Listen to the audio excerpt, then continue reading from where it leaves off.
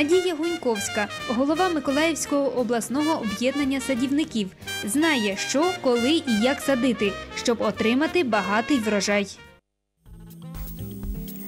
Доброго вам ранку. Доброго ранку. Сьогодні будемо говорити з вами про садочки. Так будемо говорити про те, що потрібно посадити. І я б можливо для себе хотіла би пораду, що мені можна було б яке деревце посадити, тому що чомусь у мене нічого не приживається. Я вже думаю, може це в мене аура така якась. А може мені потрібно щось краще ще розпочати? Э, Ну, э, конечно, сейчас я хотела бы начать наш разговор с садоводами о тех деревьях, которые уже растут в их садах. А потом, конечно, коснемся и посадки, пересадки.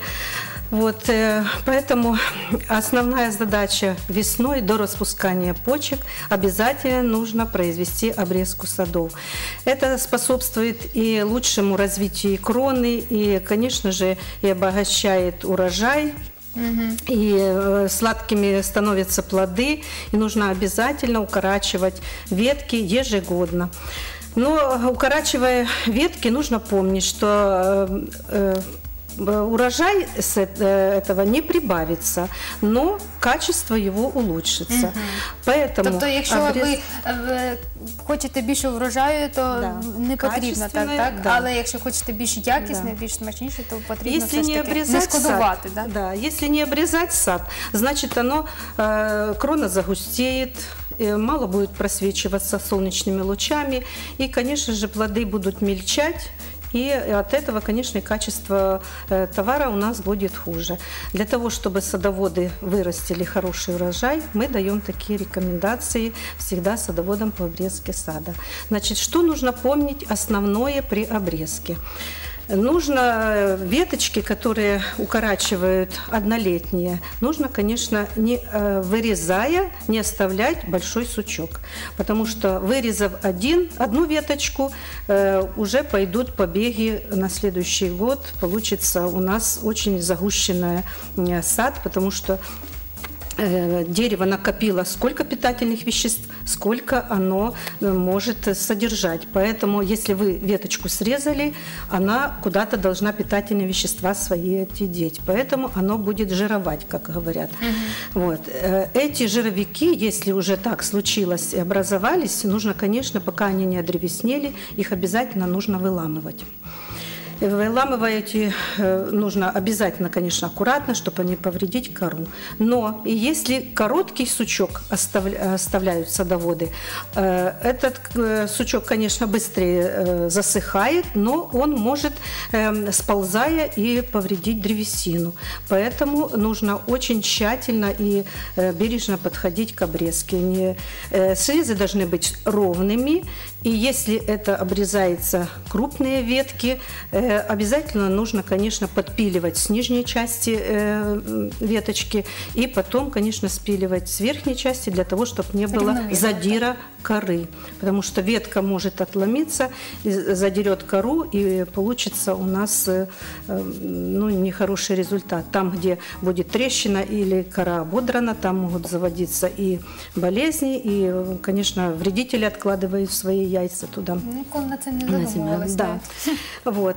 Поэтому обрезка, к обрезке нужно подходить, конечно, щепетильно. Если э, уже э, крупные ветки вы не успели, мы вообще-то рекомендуем, конечно, с осени опилоку делать крупных веток. Но если не успели сделать с осени, нужно обязательно делать это весной. Если весной срезали ветку, обяза- боль- крупные ветки, то обязательно нужно замазать садовым варом. А ще не пізно їх обрізати? Нет, нет, еще не поздно. Еще не поздно, сейчас сады обрезаются, готовятся уже к обработке сада химическими препаратами, поэтому обрезанный сад уже готов будет э, э, к обработке. Значит, э, следующий э, момент, который идет за обрезкой, нужно обязательно, конечно, подкормить. Подкормить э, саженцы ранневесенними удобрениями. Э, К ним это э, аммиачная селитра или карбамид. Из расчета 20 грамм на квадратный метр площади. Деревцо, которое растет, оно раскидывает крону, и вот по кроне, там находится всасывающая корневая система, по кроне рассапываются луночки, но луночки рассапываются не очень глубокие, для того, чтобы не не достало, эм, э, удобрения не достали корневой системы. Рассапываются, засыпается э, удобрение и заделывается почвой. Вот такая идет подкормка. Э, Азотные удобрения очень легко растворимы, поэтому э, при поливах они быстро растворяются и уже корневая система питается. Азотные удобрения дают хороший э, рост растению и, конечно же, подтягивают зелень. Якщо ми перевірили ну, е, прогноз погоди і немає найближчим часом дощу, то я так розумію, бажано самим пол- Да, поляти. Если до- долго не было дождя весной, то, конечно, лучше, конечно, полить луночку для того, чтобы э, растворилась и уже дерево начало э, всасывать именно эти питательные вещества. Мы очень на дачах часто поливаем, поэтому все питательные вещества вымываются в нижние шары. Э, Сверху уже не остается никакого питания растению, поэтому нужно обязательно э, периодами вносить удобрения. Рано весной это азотные удобрения, начиная с середины мая, может, с 20 числа уже начинается вноситься комплексное удобрение, это азот, фосфор и калий, которые необходимы для роста и развития растений. И на зиму вносить, конечно, э, суперфосфат, это именно он долго растворяется, поэтому мы вносим его в зиму для того, чтобы м, корнеобразования были лучше и питание растению было весной м, достаточно. І рослина, фосфора. я наскільки розумію, щороку буде тільки дякувати вам, да, своїм Конечно, если вносить правильно, своевременно удобрения, правильно обрезку, правильную обработку химикатами, конечно, это будут э, хорошие урожаи тогда, и защита будет сада, и ну, наглядно будет видно, приложенный ваш труд не, не, не пройдет даром. Вот. Следующий момент. Если вдруг вы э, не успели на осень побелить штамбы деревьев, обязательно нужно расчистить сначала кору, потому что все э, зимующие стадии э, откладывают свои яйца под кору или в листья. Э, если оставили вы листья на зиму э, под листьями, значит, нужно обязательно листву эту убрать, хорошо расчистить э, площадки и приштамбовые круги. И, конечно же, простелив пленку, расчистить хорошо штамбы. Хорошо прям э, зачистить, не повреждая, конечно, древесину. И потом... Без фанатизму. Да, по- побелить, побелить из расчета 1 килограмм извести, 1 килограмм глины и 300 грамм медного купороса. В 10 литрах воды развести и хорошо э, забелить эти штамбы, повыше даже касаясь скелетных веток. Это А якщо момент. осінню зробили, то це весною вже не Да, потрібно. весной не надо. Оно весной, э, в зиму, если побелели деревья, оно защищает от заморозков штамбы. Оно не так растрескивается и сохраняет штамбы именно а, вес- а весеннее, конечно, если весной побелели, оно защищает от ожогов солнечных. Но э, хочу вам сказать, до пятилетнего возраста деревца белить не стоит известью. Нужно глина, может быть, это, потому что э, медный, медный купорос с известью может дать ожог коры. Вот, поэтому тоже надо это помнить. Ну и, конечно, самый ответственный момент – это, конечно, обработка сада. И нужно на это э, подходить э, к этому с большим, конечно, знаниями, потому что все это химия.